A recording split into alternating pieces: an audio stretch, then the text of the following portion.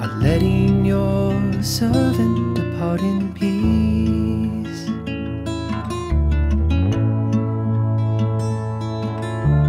Lord,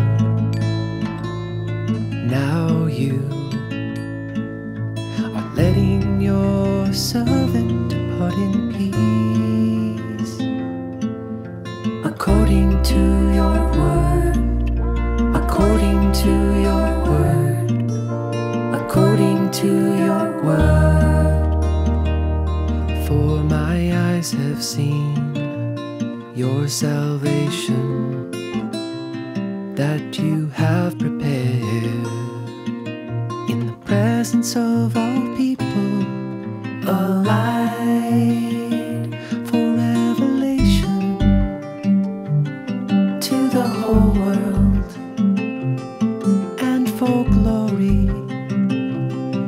to your people.